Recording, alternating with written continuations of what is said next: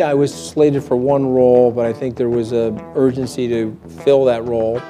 And so now, once my deal closes, there's been a discussion about a few other roles. I honestly don't know what the role will be, but hopefully it'll be something where I can make a meaningful impact.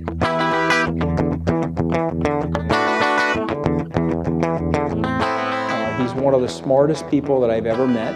He's one of the most intuitive people that I've ever met. He's a very compassionate guy. He said to me, listen, I'm running for president.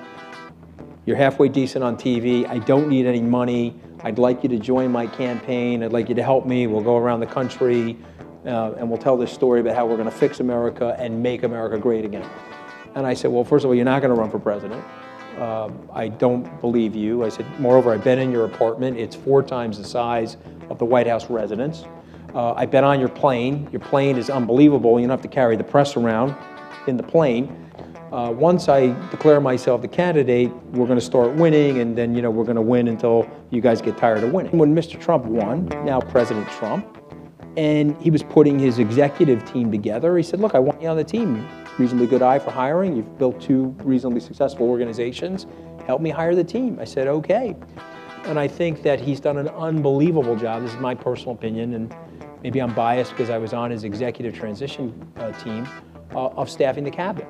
I think that these cabinet members, uh, whether it's uh, General Mattis, I mean, I can name them all, Steven Mnuchin, Rex, Secretary of State Tillerson, these are very accomplished people. I, I, believe they are, and I know some of them personally. In the last 15 months, uh, my observation is he really wants to do the right thing. I think the president, and if you just look at stock market and asset prices since his inauguration, uh, there's a sense of confidence. I think people view the president as a pro-business president. I love the president. I've studied the stuff very carefully, and uh, you know, I feel like we have a historic opportunity.